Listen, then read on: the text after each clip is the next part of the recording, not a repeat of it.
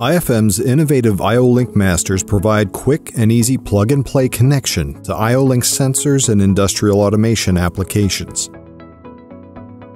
They are manufactured utilizing a high-speed, two-stage patented molding process that ensures robustness and reliability. The fully encapsulated polyamide housing eliminates ingress points and withstands the toughest industrial environments.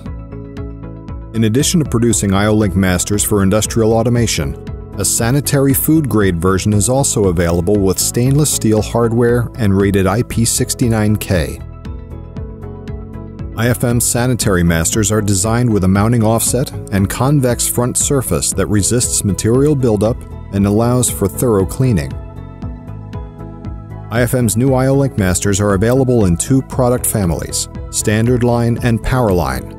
The Standard Line series is available in housings rated IP67 and IP69K and have the following advantages.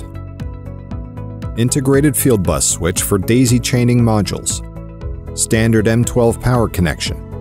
Versions with 4 port and 8 port, up to 3.6 amps ports are configurable as IO-Link, digital input, or digital output.